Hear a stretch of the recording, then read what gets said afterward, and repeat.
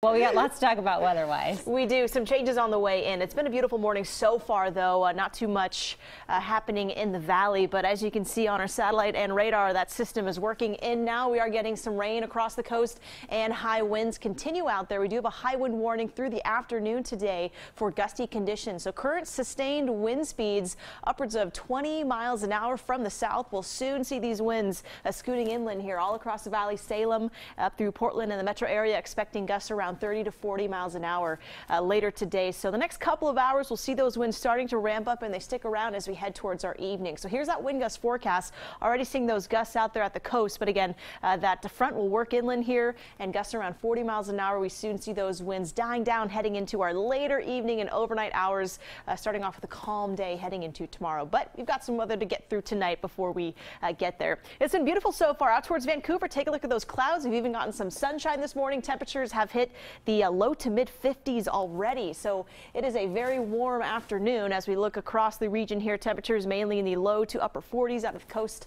Uh, we're in the mid 50s and this morning we were in, even in the uh, low 60s. So it's quite a mild morning. Here's that rainfall futurecast as we head towards the afternoon. Likely in about an hour or so we'll see those showers here starting to scoot in uh, towards the valley. Not expecting too much rain, about two tenths of an inch possibly in the valley. So the system not really a soaker. Uh, we'll have to wait till next week to get that. But Saturday starts off fairly dry. The system will work in quickly overnight and out the door. So looking at a fairly dry day tomorrow.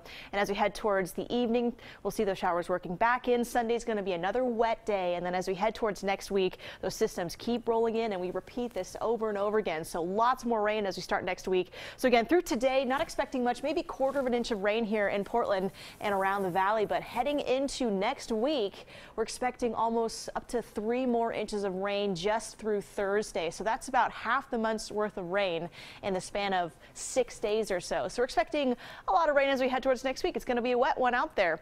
Uh, looking at our snow levels, they start to climb as we head towards Sunday and on. So snowfall tonight, maybe three to six inches above uh, five to 6,000 feet. And then as we head into the rest of the week, we do really warm up. So we'll likely accumulate maybe a few more inches here and there overnight.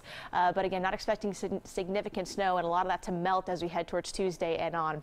Our mountain passes will see some snow too tonight out of government camp, maybe about a half an inch. So watching out for winter driving conditions paired with gusty winds out there overnight as well. Willamette Pass, Santiam Pass, maybe two to four inches out that way. So folks, uh, bring some chains with you and watch those conditions as you're heading over the mountains into the weekend. Here's our seven day forecast. The mid 50s today will drop those highs to the low 50s. So Jenny, yes, we will see some mild temperatures, but a very rainy start uh, as we head into Monday next week. That's better than like rainy and cold and windy. So yeah, I think you know the moist air will kind of help with all the hair and the oh, frizziness. that's know, what it's, it's all a, about. It is here. a real yeah. issue as we get into the week. it has been a real issue. yes, my hair is like whoop. I yeah. know. So it, will be nice. Hopefully that'll help us as we head into next okay, week. Okay, good to know. All right, thanks, Kelly. We'll be right back.